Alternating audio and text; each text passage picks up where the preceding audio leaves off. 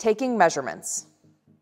The neural sleeve is designed to be worn snugly on your leg, so follow these measuring instructions to get the best fit. Get a measuring tape, and if possible, someone to help measure you. We recommend wearing shorts so you can measure directly on your leg. Measuring the thigh.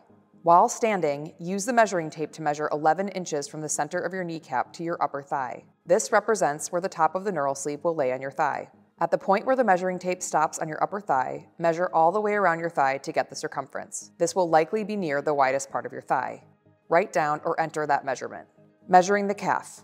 Now take the measuring tape and carefully measure all the way around the widest part of your calf.